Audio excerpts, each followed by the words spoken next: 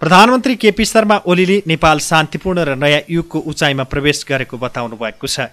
राष्ट्रिय सुरक्षा परिषद सचिवालयको वार्षिकोत्सवको अवसरमा बुधबार सिंहदरबारमा आयोजित कार्यक्रममा प्रधानमन्त्री ओलीले हिंसाको बाटोमा लागेकालाई शान्तिपूर्ण राजनीतिको मूलधारमा फर्काएकाले नेपाल शान्तिपूर्ण र नयाँ युगको उचाइमा प्रवेश गरेको बताउनु भएको हो। उहाँले आन्तरिक हिंसा टुङ्गाएको र विखण्डनवादको पनि अन्त्य भएको उल्लेख गर्नुभयो। त्यस्तै उहाँले संविधानको सफल कार्यान्वयनतर्फ जनताद्वारा प्रतिबिम्बित विषयहरूलाई सम्बोधन गर्दै जाने जिकिर गर्नुभयो।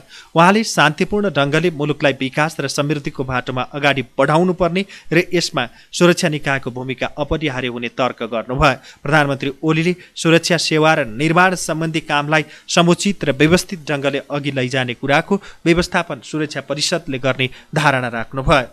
त्यो नेपाली जनताको सार्वभौम सत्ता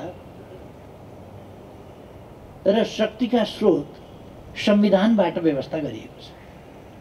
त्यसका नेपाली जनताको आकाङ्क्षा कसरी प्रतिबिम्बित हुन्छ त भन्दा संविधान सम्मत बाटोबाटै प्रतिबिम्बित हुन्छ। संविधानले जनप्रतिनिधिहरू निर्वाचन गर्छ। संविधानले निर्वाचित गरेका जनप्रतिनिधिहरूले संविधान संशोधनदेखि लिएर आवश्यकता अनुसार कानुन निर्माण वा संशोधन गर्छ र त्यस मार्फत जन आकाङ्क्षा प्रतिबिम्बित हुन्छ। त्यही आकाङ्क्षालाई प्रतिबिम्ब त्यही आकाङ्क्षालाई शिरोधार्य गरेर संविधान मार्फत र त्यसको कार्यान्वयन मार्फत प्रतिबिम्बित आकाङ्क्षा र त्यसको इम्प्लिमेन्टेसनबाट हामी निर्देशित भएर हिँड्छौँ। सिङ्गै समाज त्यसकारण मूल कानुन संविधानलाई मानेर संविधान बमोजिम हामी अगाडि बढ्छौँ। नेपाली समाज क्रमशः एउटा अनुकूल अनुकूल अनुकूल वातावरणतर्फ अगाडि बढ्दैछ। हामीले पृथकतावादी मुभमेन्टलाई अन्त गऱ्यौँ र राष्ट्रिय एकताको मूलधारमा। पृथकतावादी सोच चिन्तन व्यवहार मागहरू तिनीहरूलाई टुङ्ग्यायौँ गत वर्ष। र राष्ट्रिय एकताको मूलधारमा एकताको भावधारमा हामी अगाडि बढ्यौँ। हाम्रो भौगोलिक विविधता प्राकृतिक जैविक सामाजिक अरू प्रकारका विविधता छन् भने स्वाभाविक रूपमा सामाजिक विविधता पनि छन् भौगोलिक विविधता छन्।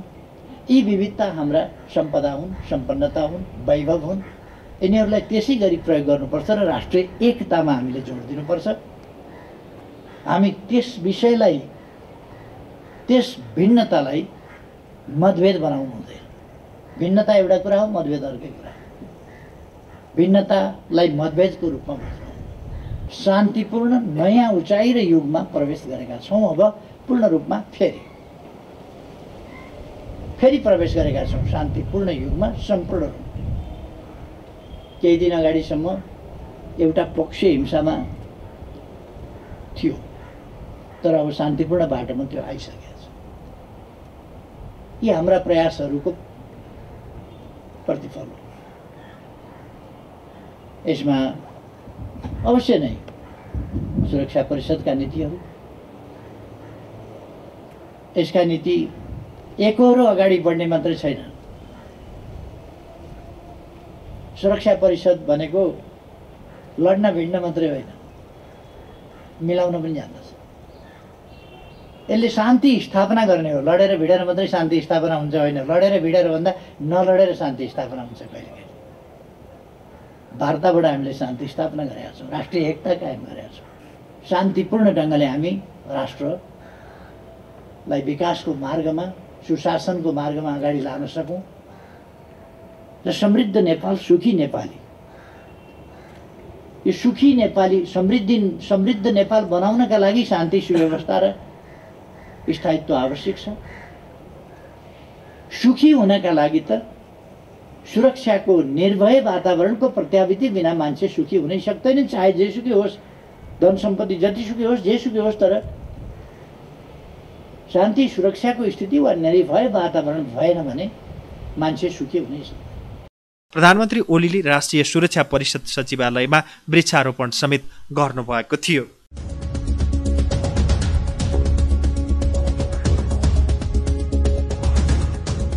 जनता समाजवादी पार्टी नेपालका अध्यक्ष उपेन्द्र यादवले असंवैधानिक कदम उठाउने र अलोकतान्त्रिक कार्य गर्ने प्रतिगामी शक्तिलाई बहिर्गमन गराउने पार्टीको रणनीति भएको बताउनु भएको छ। बुधबार संघीय संसद भवनमा सञ्चारकर्मीसँग कुरा गर्दै असंवैधानिक कदम र प्रतिगामी कदम चाल्नेलाई सत्ताबाट हटाउन पार्टीको मूल ध्येय हुने समेत उहाँले बताउनुभयो। उहाँले ओली नेतृत्वको सरकारमा जाने जसपाको कुनै योजना नरहेको स्पष्ट पार्नुभयो।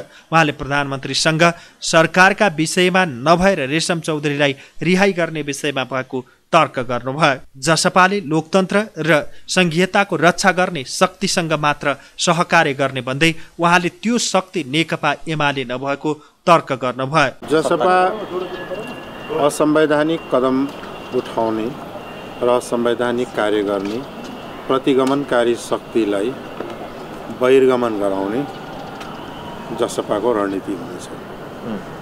त्यो भनेको स्पष्ट छ। सरकारमा सरकारमा जाने नजाने कुरा त बेग्लै कुरा हो।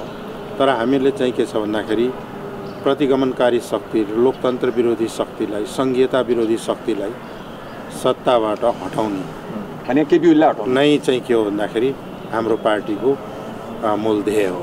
त हिजो संसदीय दलको बैठकमा चाहिँ मुद्दा मिले जोसँग पनि सहकार्य हुन्छ भन्ने कुरा होइन सहकार्य गर्नका लागि मुद्दा मिल्नुपर्छ। र उहाँसँग हाम्रो मुद्दा मिल्दैन। कार्यदल त गठन भइसक्यो। कार्यदल भन्दा पनि त्यो कार्यदल भन्दा पनि दुईजना मान्छेले कुरा गर्ने त्यो एउटा पोइन्ट मुद्दाको लागि हो। त्यो के हो भने रेशम चौधरीको रिहाई र मुद्दा खारेजीका लागि केही साथी कुरा गर्न जानुभएको हो। त्यति मात्रै हो। त्यहाँलाई त्योभन्दा बढी अरू केही पनि होइन त्यो। जसपालाई प्रधानमन्त्रीको अफर आयो भने? त्यो त्यहाँ जसपालाई प्रधानमन्त्रीको अफर कसले गर्छ एमालेसँग कस्ता- कस्ता- सहकार्य हुँदैन होइन कस्ता कस्ता चाहिँ के छन् भन्दाखेरि उहाँ बसिरहेका छन्। एमालेसँग हुँदैन। होइन हामीहरू चाहिँ के हो भन्दाखेरि लोकतन्त्रका रक्षाका लागि सङ्घीय गणतन्त्रका रक्षाका लागि सङ्घीयता पक्षधर शक्तिहरूसँग सहकारी गर्न सक्छौँ जसले हाम्रा मुद्दाहरू मधेसका मुद्दाहरूलाई चाहिँ समर्थन गर्दछ संविधान संशोधनलाई अगाडि बढाउँछ ती शक्तिहरूसँग सहकार्य गर्ने हो। त्यो शक्ति भनेको नेकपा चाहिँ एमाले होइन। त्यो विगतदेखि हामीले अहिलेसम्म जाँच परख टेस्ट गरेर व्यवहारमा हेरिसकेका छौँ। त्यसो भए प्रचण्ड प्रधानमन्त्री भयो भने समर्थन गर्ने हो कि नेपाली काङ्ग्रेसको सभापति अब को आउनुहुन्छ?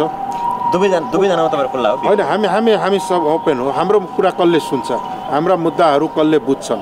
त्यो महत्त्वपूर्ण सम्बोधन भएको खण्डमा अहिलेको होइन त्यो चाहिँ महत्त्वपूर्ण छ। अहिलेको सरकारको कुरा नगरौँ। अहिलेको सरकारसँग कुनै किसिमको सहकार्य सहयात्रा भनिसक्नु भएको छ। हुन सक्दैन। उहाँले कङ्ग्रेस र माओवादीको सरकारमा जान पार्टी खुल्ला रहेको बताउनु भयो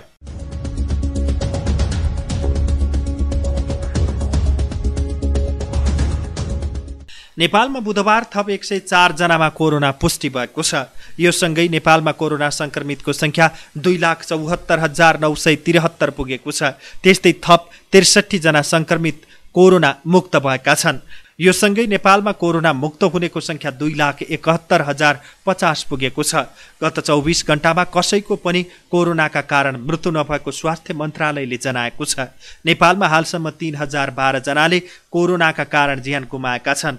नेपालमा हाल नौ सय एघारजना आइसोलेसन र पचपन्नजना क्वारेन्टिनमा छन्। नेपालमा हालसम्म बाइस लाख तिन हजार चार सय अडतिसवटा पिसिआर परीक्षण गरिएको मन्त्रालयले जनाएको छ।